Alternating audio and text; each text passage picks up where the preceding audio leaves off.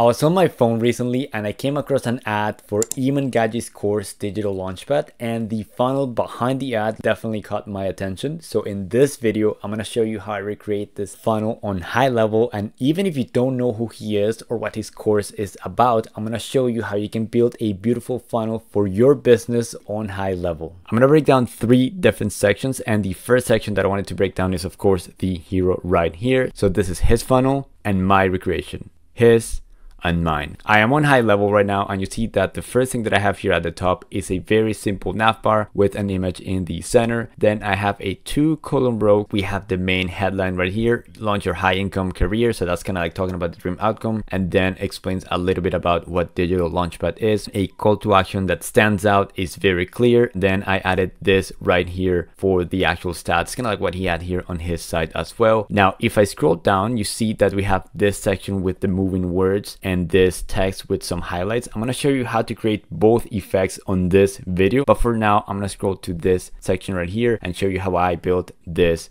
section. So if I scroll down here, you see that this is a very simple section, but it's doing something very powerful, which is showing who is this for, making it so that if one of these ideal target avatars are on his website, they're that much more compelled to keep reading or take the next step and buy his program. What this looks like on HighLevel is first we have a one column row with just one headline. And if you're wondering what font is this, which looks very cool, very clean, that is Oswald right here. And then for my actual paragraphs, I was using Poppins and that's the exact fonts that he was using on his funnel as well. Now on this section right here, you see that I have four columns just like this. And then on each column, I have an image, a sub headline and a description. This is his actual website and I'm showing you this section right here. And this is my website. You see that it's very, very close. So even though this was built on HighLevel, we're still able able to build a beautiful funnel. The next section that I wanted to show you is this one right here. So this is my section and this is his section my section, his section. So very, very close. And now let me show you how I did this on HighLevel. You see that I'm keeping it very simple. I'm not trying to be very fancy. What I am doing is being consistent with my colors, black, white, and then this orange makes it so that the branding is consistent, is minimalistic, and it just looks beautiful and clean overall. Anyways, you see that here we have a two column row. And in this case, I added my image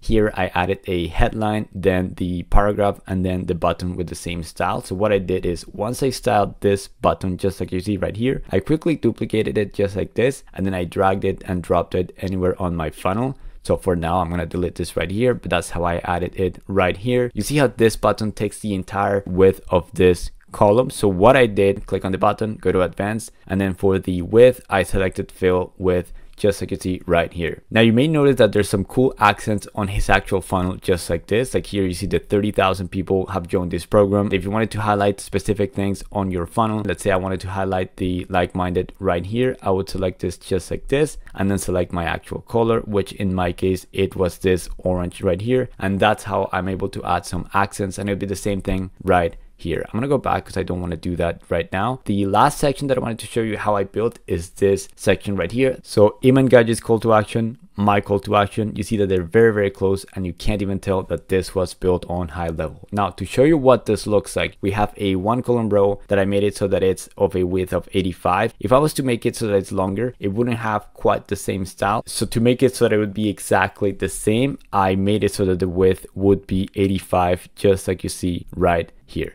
Going back to the top of this funnel, there's two things that I really liked and I wanted to recreate on HighLevel as well. You see that there's this moving carousel right here and these accents on this paragraph right here. So let me show you live how I would do this on HighLevel. First thing that I'm gonna do is show you how to add those cool accents right here. So to do this, we need to add some custom code. Now, if you already have my Notion doc, I'm gonna go to tutorial 1.14 right here. But if you don't have my doc or you don't know what it is, this is the resource that I use every single day to build better websites for myself for my clients. Think of it like cheat codes for GoHighLevel websites. Anyways, I'm gonna go to 1.14 right here, how to highlight a word or phrase on a text. So I'm gonna click this right here. I'm gonna make it so that I copy this code right here. I'm gonna go back to HighLevel, open the custom CSS window right here. And if you don't have any code, this will be blank. In my case, I'm gonna open up some space for myself right here, paste the code just like this. And I'm gonna make it so that I copy this word right here. And in my case, it's not an H1, it's gonna be a paragraph. For now, what I'm gonna do is hit save and nothing is going to happen of course. I need to click on my paragraph go to advanced and then here on the custom class paste that custom class hit enter and you'll see that now when i highlight over a specific word I'm able to add an accent. Of course, this is not exactly the same. We need to change the color and then make the edges very squared. Here you see that they're a little bit too round. So depending on the type of feel that you would like for your product, that's how you'd be able to do it. But in my case, what I did is get rid of the border radius, get rid of the padding. And then for my actual color right here, I have this cool site, coolors.co. What I did is, I think it was this one, the color that he was using. So I'm gonna go ahead and copy this hex code, go back to HighLevel right here, replace this just like this, hit save and now you see how I'm able to add this exact effect that he had on his funnel on my HighLevel website very easily. Now I'm going to show you how I created this moving text right here. So this is my actual website and this is Iman Gadzhi's actual website. So you see that it's very, very close. I'm going to go back to HighLevel and I'm going to start by adding a one column row. Here, I'm going to add a paragraph just like you see right here for this paragraph i'm going to go ahead and add a custom class image logo one hit enter and then for the color i'm going to go back to general and make it so that it is white just like you see right here. I'm to go back to his funnel and copy the first element right here. So progress every week and then paste it here. I want to make it so that when i click this section i toggle this just like you see right here.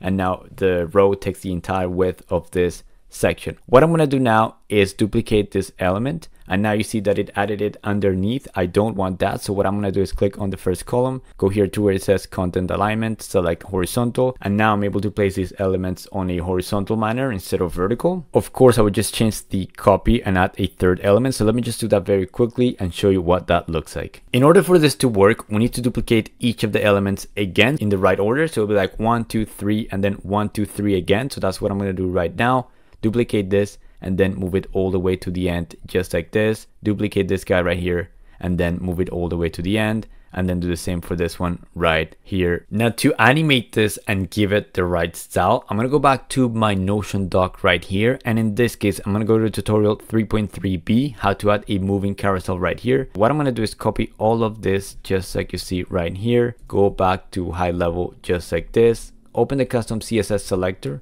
I'm gonna open up some space for myself right here, paste it just like this. What I'm gonna do is hit save right here. And for now, don't worry about how the layout changed. What I'm gonna do is click on the row right here, go to advanced, copy the CSS selector, open up the code again, and there anywhere where it says your row one, I'm gonna replace it just like this. I'm gonna keep scrolling here where it says row one, replace it just like this.